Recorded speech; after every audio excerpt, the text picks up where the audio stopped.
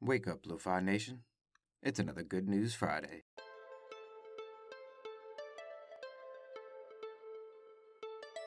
Welcome, everyone, to the Lo-Fi Poli Sci Podcast. I'm your host, Michael Pickering. That's right, Lo-Fi's and low fidelity, low quality, in your face, messy as can be global news show. And it's everyone's favorite day of the week. That's right, it's another Good News Friday. The news, fresh off that press. Source, the UK, Wales section of the BBC. Stonehenge. Were the building blocks from Wales? When you think you know all about the rocks and how they're arranged in a circle from 5,000 years ago? Well, you find out that really, we're still learning a lot about ancient history these days. And this article delves into the details of where particular stones in Stonehenge come from and the potential reasoning behind them being moved over 150 miles just to make a circular structure back in 3000 BC. If you're into those details, check it out. It's pretty fascinating. But I chose to lead with this story because it represents a very particular thing for me, for us, for the we that we be. You see, Stonehenge was built by ancient people that didn't leave a diary behind. And we're just trying to figure out who were they? What were they doing? What were they trying to tell us? Were they trying to tell us anything? What I mean here is that so much of our ancestors we don't know, we don't understand. Mean, it really makes me wonder how am I affected by that understanding or lack thereof? How much of history do I allow to influence my present? How much of yesterday do we dwell upon today? Just a thought for you out there. Next up, source the editor's pick of NPR Sisters with Transistors, Pioneers of Electronic Music. All right, this one is a lo fi must read and a lo fi must listen. It's a combination of article, YouTube clips, and it's based on a new documentary called Sisters with Transistors. This documentary is about the instrumental roles that women played in the development of electronic music. But not just making the music, but making the electronics as well. It's about creation and innovation. And it's about so much more that I can't do it justice right here. So, lo fi, listen to this for real and see what's the real story with Sisters with Transistors. Now, keeping it going with the music theme here, Source, the oddities section of the AP ancient shell horn can still play a tune after 8,000 years. Now, this story I love, but also makes me think sometimes humans were pretty stupid. And archaeologists back in the day?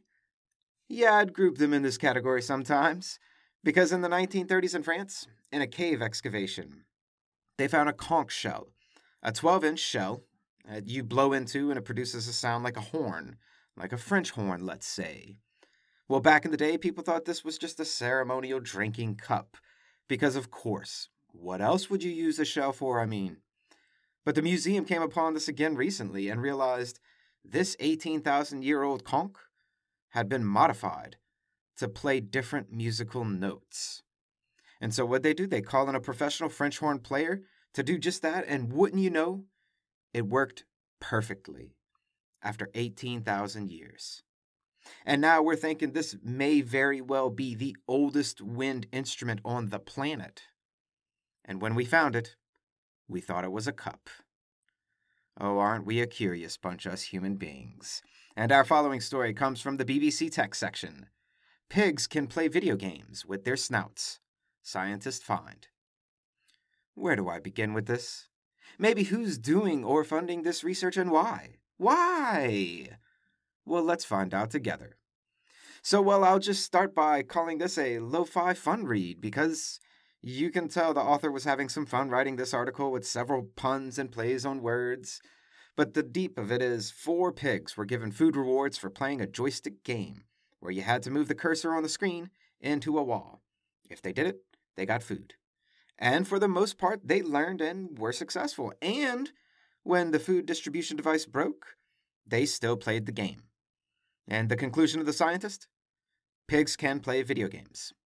Pigs are intelligent. This is important for how we interact with pigs. And to quote a farmer from the article, begin quote, I don't think this will come as a surprise to anyone that works with pigs. And there you have it. Take from it what you will, but interesting nonetheless. pigs can play video games, and someone's getting paid to prove it. Goodness, I love science. But as much as I love that, this next story is really the one I get for the week. And a last piece of news to send you on your way to the weekend NPR, the science section. Eight year old calls out NPR for lack of dinosaur stories. You know what, eight year old kid? You are absolutely right, but not just about the NPR, about all broadcasters out there. Dinosaurs? Give us all more dinosaur stories. I'll do a bit of a quote from this kid. It's adorable. They write into an NPR show called All Things Considered. Begin quote I listen to All Things Considered in the car with mom. I listen a lot. I never hear much about nature or dinosaurs or things like that. Maybe you should call your show Newsy Things Considered, since I don't get to hear about all things. Or please talk more about dinosaurs and cool things. End quote. Well done, eight year old kid. Well done. Lo Fi Poli gives you so, so many mad props for this letter. And let's take this message and run with it. And as you go about your day, about your weekend, why don't you add a little dino news to your daily diet? And that's it. I am out for the weekend. Holiday coming up, but I'm still going to be around. A bit of a different programming schedule next week. Stay tuned for Monday's episode of Pickering Unplugged. Tuesday's top 10 is the top 10 favorite holidays, and a very special Wednesday. More on that soon. Always remember that Lo Fi Poli Sci is more than just me, it's the we that we be. Thanks for listening. Stay safe, wash those hands, and I'll see you on the next episode of the Lo Fi Poli podcast. Pickering, signing off.